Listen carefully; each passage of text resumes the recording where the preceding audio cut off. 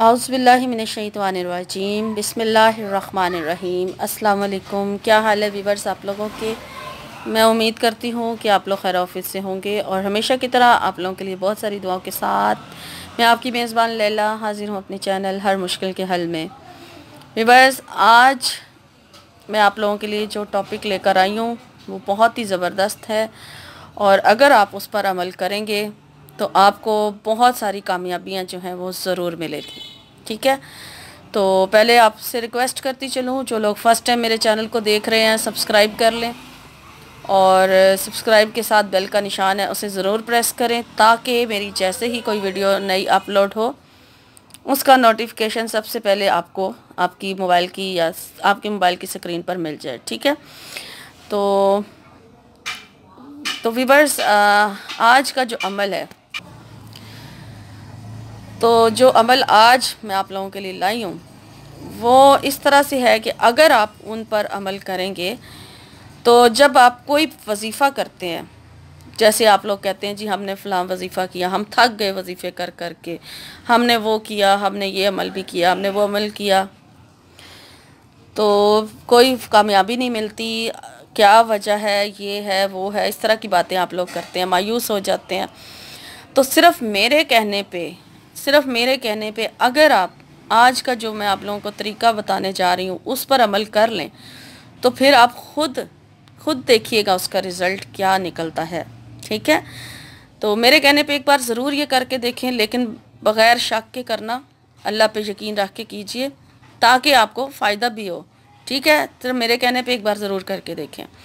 سب سے پہلے تو آپ کوئی وظیفہ نہ کریں، ٹھیک ہے؟ آپ نے کوئی نیا عمل شروع کرنا ہے، کوئی نیا وظیفہ کرنا ہے، اگر آپ کر رہے ہیں، وہ تو آپ جاری رکھیں۔ ان کے لیے میں آپ کو منع نہیں کرتی ہوں۔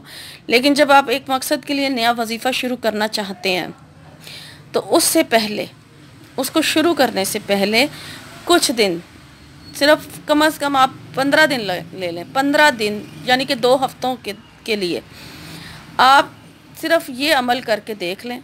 اور اس کے بعد آپ جا کے وظیفہ شروع کریں اور پھر دیکھیں کہ آپ کو کامیابی ملتی ہے یا نہیں ملتی۔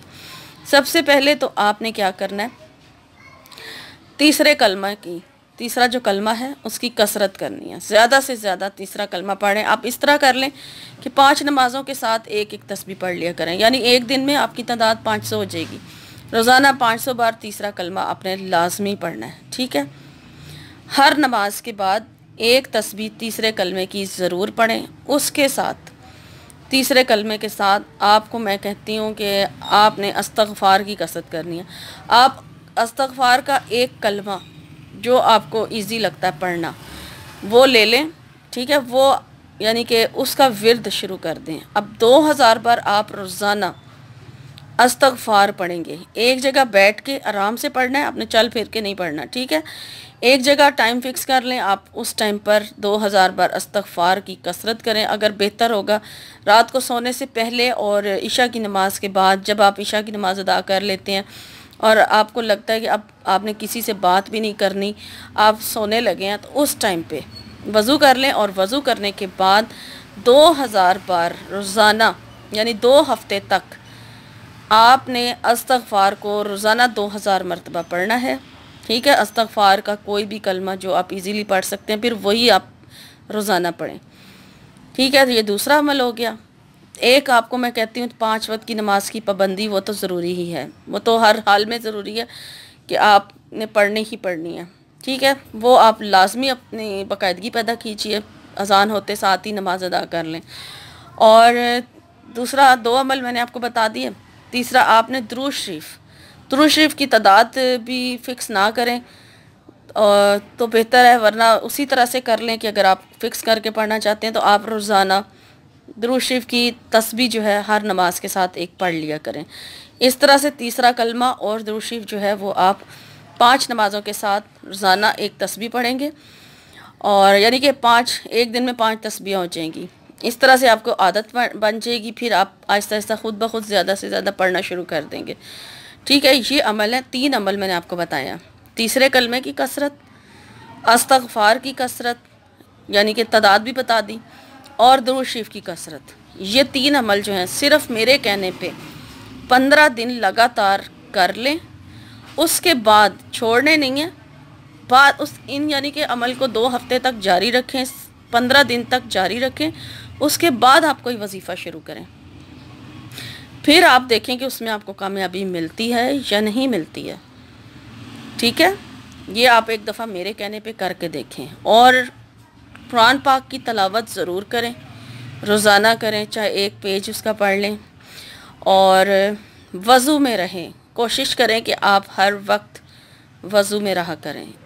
اور جو لڑکیاں یہ پوچھتی ہیں نا کہ ہمارے چہرے پر نور لانے کے لیے کوئی عمل بتا دیں خوبصورتی لانے کے لیے کوئی عمل بتا دیں تو اگر آپ ہر وقت وضو میں رہیں گی اور زیادہ سے زیادہ دروشی پڑھیں گی تو پھر آپ اپنا چہرہ خود دیکھیں گی کہ کتنا چمکنا شروع ہو گیا۔ ٹھیک ہے؟ کسی اور عمل کی ضرورت ہی نہیں، صرف وضو میں رہیں اور دروشی پڑھیں ان شاء اللہ تعالیٰ چہرہ بھی نور و نور ہو جائے گا۔ تو یہ تھے آج کے عمل۔ ان کو کرنے کے بعد۔ اور ایک ہاں میں بھول گئی کہ بہتر ہے کہ صدقہ خیرات ضرور کیجیے صدقہ خیرات بھی ہماری بہت ساری مصیبتوں کو، پریشانیوں کو ٹال دیتا ہے۔ تو وہ ضرور کریں، ٹھیک ہے؟ جتنی آپ کی طاقت ہے، جتنی آپ کی توفیق ہے، آپ صدقہ ضرور کرتے رہیں۔ اور یہ عمل لگاتار پندرہ دن ضرور کریں۔ اس کے بعد کوئی وظیفہ شروع کریں۔